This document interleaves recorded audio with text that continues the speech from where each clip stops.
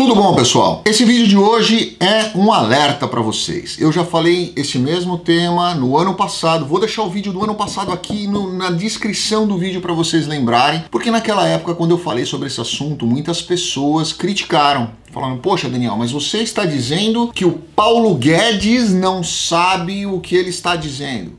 Não. Não foi isso que eu falei. Eu quis dizer que talvez o Paulo Guedes tivesse uma estratégia diferente daquela estratégia que as pessoas estavam enxergando. Que o que eu estava mostrando para todo mundo era que, olha, juros baixos, Selic baixa, com impressão de papel moeda, quer dizer, inflação vindo aí. A inflação está corroendo nitidamente o Brasil e os Estados Unidos também. Tá? Os Estados Unidos talvez até num cenário um pouco mais desconfortável do que o brasileiro, porque o americano ele não está acostumado com inflação e o brasileiro já está acostumado com inflação. Principalmente os brasileiros com a, a minha idade acima dos 40, que com certeza lembram das épocas lá de trás, onde o Brasil tinha a inflação de 100% do dia para noite, né? Então era uma coisa assim absurda que tinha, e eu não estou dizendo que vai voltar agora, mas eu estou dizendo para vocês que nós estamos agora beirando um descontrole inflacionário de novo, não só no Brasil, mas o que acontece nos Estados Unidos pode impactar no Brasil e é sobre isso que eu quero falar com vocês. Eu lembro de um ditado que eu falo sempre para as pessoas: quando a gente está com raiva, quando a gente está bravo com alguém, a gente sempre pensa, o nosso foco é sempre no que nós podemos fazer para devolver aquilo para aquela pessoa, para devolver a agressão, para nos defendermos da agressão. Então a gente está preocupado, a gente está focado no que nós podemos fazer contra aquela pessoa e quase sempre a gente se esquece do que a pessoa pode fazer contra nós mesmos de volta.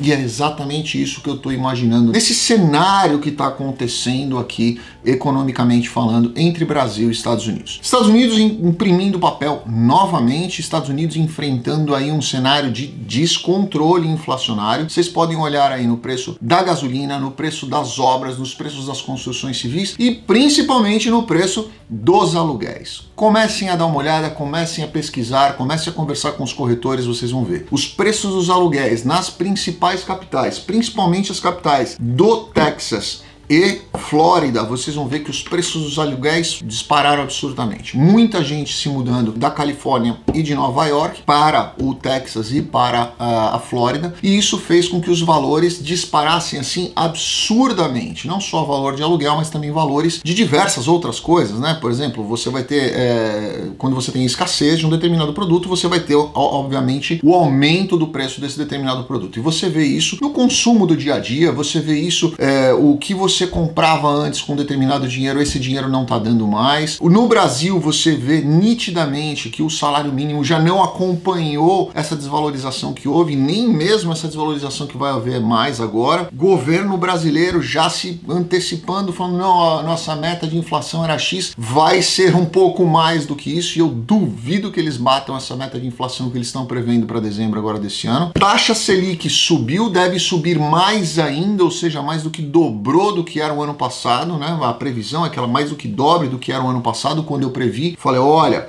Selic está muito baixo, isso aqui vai dar inflação. Não, precisa aquecer a economia. Tá, você precisa aquecer a economia não com um incêndio, você aquece, aquece aos poucos, você vai subindo. Eu acho que o Brasil agora vai entrar numa situação complicada nessa questão da inflação. Né? Os preços devem subir bastante. E uma coisa que eu falo sempre para as pessoas, não sou economista, mas eu falo de uma forma muito simples para as pessoas entenderem. A inflação não é o aumento do preço de um produto. Por exemplo, essa caneta aqui. Vamos dizer que essa caneta aqui hoje, uma caneta, custe um dólar um real, tá? Daqui um mês quando há inflação, esta caneta vai ser o mesmo produto, igualzinho, a mesma coisa, não mudou a quantidade, não mudou a cor, não mudou a, a, a qualidade dela, não mudou nada. Mas nós precisaremos de dois reais talvez para comprar a mesma caneta. Então quer dizer o quê? Não é a caneta que valorizou, é o dinheiro que desvalorizou. Então quer dizer, o real está perdendo valor para produtos de mercado, consequentemente perdendo para outros produtos também. Se você chamar o dólar como produto, hoje o dólar caiu. Por quê? Porque tem muito dólar no mercado. Biden imprimindo dinheiro aí, 4 trilhões para fazer política de sustento, que eu particularmente sou contrário, já falei isso diversas vezes para vocês. Isso tem arrebentado a economia americana, porque obviamente as pessoas não querem voltar a trabalhar, infelizmente, né? Você vê que tem é, vaga de emprego existe. O que não existe são pessoas querendo voltar a trabalhar, já expliquei isso em outros vídeos. E ele imprimindo mais dinheiro, colocando mais dólar no mercado, a única forma que ele vai ter, infelizmente, anotem aí para depois vocês, eu, eu, eu eu lembrá-los também num vídeo lá na frente. A única forma de, dos Estados Unidos pagar tudo isso que vem acontecendo é com um conflito em algum lugar do mundo, tá? Isso já aconteceu lá atrás, se vocês forem olhar historicamente, isso já aconteceu lá atrás, eu falei isso numa entrevista que eu dei ontem para Jovem Pan. Essas contas dos Estados Unidos já foram equilibradas anteriormente baseados em conflitos armados em outros lugares do mundo. Então eu imagino que essa conta vai ser equilibrada da mesma forma. Infelizmente é o preço que se paga e infelizmente é o que nós vamos pagar por tudo isso que foi feito,